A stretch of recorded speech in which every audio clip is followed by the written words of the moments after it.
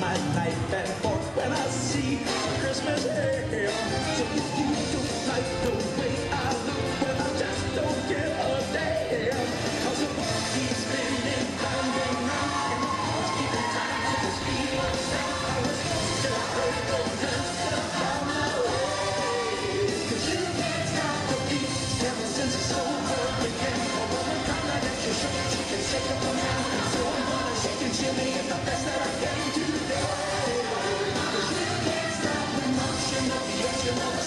Yeah.